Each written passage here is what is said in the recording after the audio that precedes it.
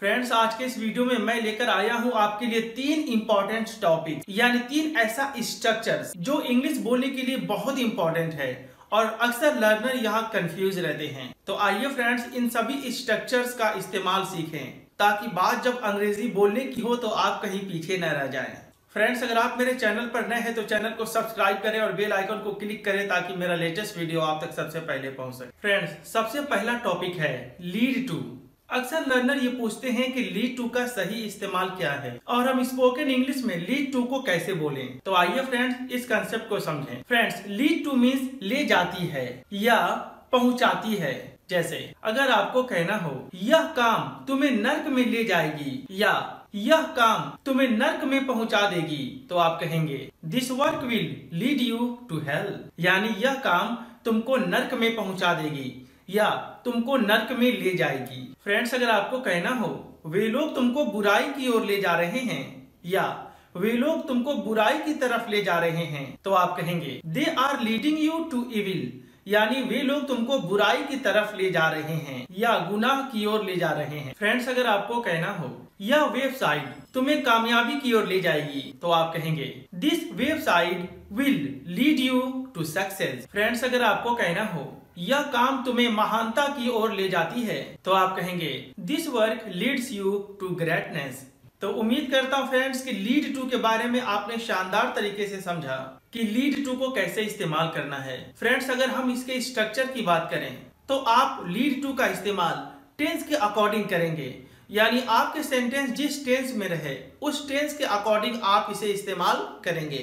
आइए फ्रेंड्स अब अगला टॉपिक देखते हैं। फ्रेंड्स हमारा दूसरा टॉपिक है बीइंग यानी होते हुए या होकर। जैसे कई बार हमें अपने लाइफ में इस तरह के सेंटेंसेस बोलने पड़ते हैं, जहाँ हम कहते हैं, अध्यापक होकर तुम झूठ बोलते हो, क्या तुमको शर्म नहीं आती? तो आप कहेंगे being a teacher you tell a lie don't you feel ashamed friends अगर आपको कहना हो, अमीर इंसान होते हुए भी तुम लालची हो, क्या तुमको शर्म नहीं आता है? तो आप कहेंगे being a rich man you are greedy don't you feel ashamed friends अगर आपको कहना हो, साधु होते हुए तुम पाप करते हो, क्या तुमको शर्म नहीं आती है? तो आप कहेंगे being a saint you sin don't you feel ashamed friends अगर आपको कहना हो, नौजवान होते हुए भी तुम भीख मांगते हो क्या तुमको शर्म नहीं आती है? तो आप कहेंगे being young you beg don't you feel ashamed तो फ्रेंड्स जब हमें अपने लाइफ में कहना हो, होते हुए तो आप बींग का इस्तेमाल करेंगे। आइए फ्रेंड्स अब तीसरा टॉपिक देखते हैं। आइए फ्रेंड्स अब सपोज़ टू बी का इस्तेमाल देखें कि सपोज़ टू बी का इस्तेमाल क्या है।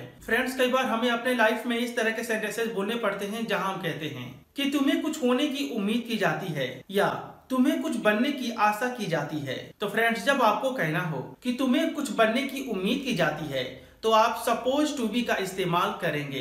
कैसे करेंगे? आइए इस बात को एग्ज़ाम्पल में बेहतर तरीके से समझे। फ्रेंड्स अगर आपको कहना हो, तुम्हें एक डॉक्टर बनने की आशा की जाती है। You are suppose to be a doctor friends अगर आपको कहना हो, आपको एक महान नेता बनने की आशा की जाती है, या आपको एक महान नेता बनने की उम्मीद की जाती है तो आप कहेंगे you are suppose to be a great leader friends अगर आपको कहना हो, उसे अमीर बनने की उम्मीद की जाती है या उसे अमीर होने की आशा की जाती है तो आप कहेंगे he is suppose to be rich अगर आपको कहना हो, उसे एक एक्सपर्ट इंजीनियर बनने की उम्मीद की जाती है या आशा की जाती है तो आप कहेंगे he is suppose to be an expert engineer friends अगर आपको कहना हो उसे एक क्रिकेटर बनने की उम्मीद की जाती है, या उसे एक क्रिकेटर बनने की आशा की जाती है तो आप कहेंगे he is supposed to be a cricketer तो फ्रेंड्स जब कभी भी आपको अपने लाइफ में इस तरह के सेंटेंसेस बोलना हो जहाँ आप कहना चाहें, उम्मीद की जाती है, आशा की जाती है तो आप I am supposed to be he is supposed to be she is supposed to be you are supposed to be they are supposed to be यानी, जो आपका सब्जेक्ट हो उसके बाद आप हेल्पिंग वर्ब फिर सपोज़ टू बी का इस्तेमाल करेंगे। उम्मीद करता हूँ फ्रेंड्स कि यह तीनों स्ट्रक्चर आपको बहुत पसंद आया होगा। फ्रेंड्स अगर वाकई आप तीनों स्ट्रक्चर को शानदार तरीके से समझे तो क्या इन स्ट्रक्चर्स पर तीन सेंटेंसेस कमेंट बॉक्स में लिख सकते हैं? ताकि मैं देख सकूँ कि आपने सही सीखा या गलत। तीन सेंटेंसेस कमेंट बॉक्स में टाइप करें और मैं चेक करके बताऊँगा कि आपने सही लिखा या गलत। फिर मिलेंगे एक नए वीडियो में। तब तक के लिए बाय